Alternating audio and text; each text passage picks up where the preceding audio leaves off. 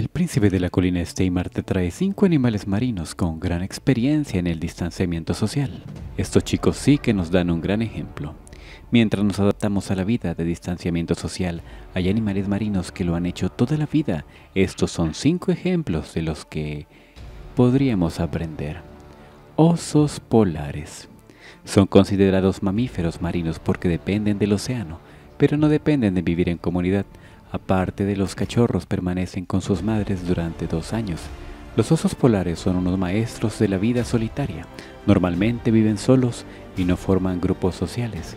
Cuando los osos no están cazando, están durmiendo o descansando en medio de su soledad. Las ballenas. Mientras algunas especies de ballenas son conocidas por sus complejas estructuras sociales, otras especies son la excepción. La única y no identificada ballena de 52 Hz cantada una melodía muy diferente. Únicamente y específicamente su canción se registra en una frecuencia de 52 hercios, mucho más alta que cualquier otra ballena registrada en el mundo con patrones de migración similares. Se le conoce como la ballena más solitaria, aunque no se sabe si esto es cierto o solo le guste cantar sola para sí misma. Las tortugas de mar. Las tortugas de mar han cruzado por los océanos por más de 100 millones de años y lo han hecho solas.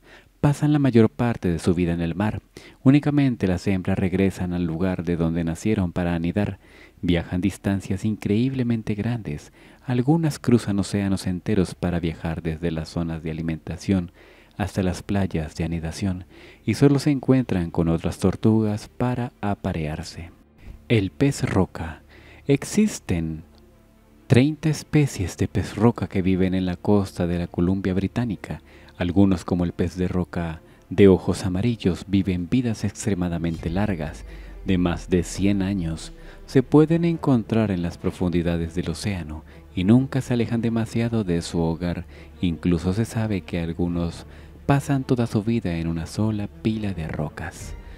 Pulpos. Los pulpos son animales típicamente solitarios.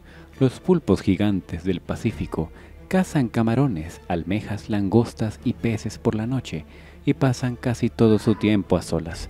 También tienen capacidad sofisticada de camuflaje. Las células especializadas llamadas cromatóforos permiten que estos y otros pulpos cambien de color y la textura de su piel en una décima de segundo.